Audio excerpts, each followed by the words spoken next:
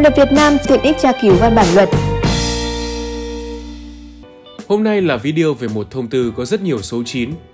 Đó là thông tư 09 của Bộ Tài nguyên và Môi trường sửa đổi, bổ sung 9 thông tư khác hướng dẫn luật đất đai. Thông tư này có hiệu lực từ ngày 1 tháng 9 năm 2021. Luật Việt Nam sẽ tổng hợp dưới đây tất cả những điểm mới đáng chú ý nhất của thông tư này liên quan đến đất đai mà người dân cần biết. 1. Không phải nộp bản sao sổ hộ khẩu, chứng minh nhân dân, căn cước công dân khi làm sổ đỏ. Theo thông tư 09, khi cơ sở dữ liệu quốc gia về dân cư được vận hành và kết nối với dữ liệu lĩnh vực đất đai, thì khi người dân nộp hồ sơ, thực hiện thủ tục đăng ký đất đai, tài sản gắn liền với đất, cấp sổ đỏ mà có yêu cầu thành phần là bản sao giấy chứng minh thư nhân dân hoặc giấy chứng minh quân đội hoặc thẻ căn cước công dân hoặc sổ hộ khẩu hoặc giấy tờ khác chứng minh nhân thân thì cơ quan tiếp nhận hồ sơ sử dụng dữ liệu từ cơ sở dữ liệu quốc gia về dân cư mà không yêu cầu người nộp hồ sơ phải nộp các giấy tờ này để chứng minh nhân thân. Đây là một quy định mới của thông tư 09 phù hợp với chủ trương đơn giản hóa thủ tục hành chính, giúp người dân không cần mang theo nhiều loại giấy tờ khi đi làm các thủ tục. Thay vào đó, sử dụng dữ liệu trong hệ thống cơ sở dữ liệu điện tử. 2. Thêm hai trường hợp cấp sổ đỏ khi đăng ký biến động đất đai. Thông tư 09 đã bổ sung trường hợp được cấp sổ đỏ khi đăng ký biến động.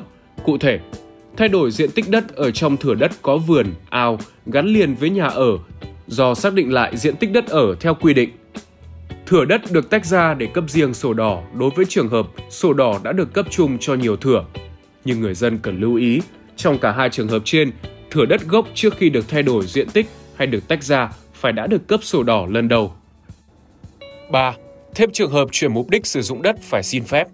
Theo thông tư 09 khi chuyển đất thương mại, dịch vụ sang các loại đất khác thuộc đất sản xuất, kinh doanh phi nông nghiệp, không phải xin phép nhưng phải đăng ký biến động, trừ khi chuyển sang đất cơ sở sản xuất phi nông nghiệp.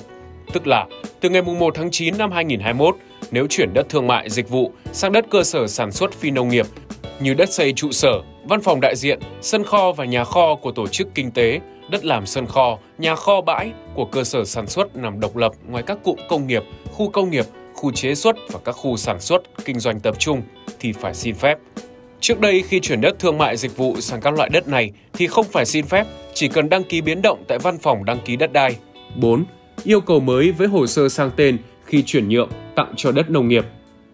Thông tư 09 chỉ rõ, trong trường hợp hộ gia đình, cá nhân nhận chuyển quyền sử dụng đất nông nghiệp thì phải thể hiện rõ tổng diện tích nhận chuyển quyền trên mẫu đơn 09 DK như sau.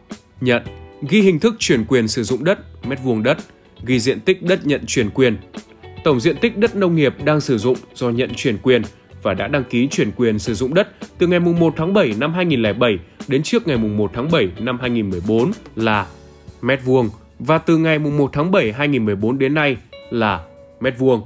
Ghi cụ thể diện tích nhận chuyển quyền theo từng loại đất, từng địa bàn tỉnh thành phố trực thuộc trung ương. Đây là một yêu cầu mới mà trước đây chưa có. 5.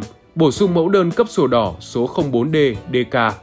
Ngoài mẫu đơn 04A DK hiện nay, thông tư 09 đã bổ sung thêm mẫu số 04D DK.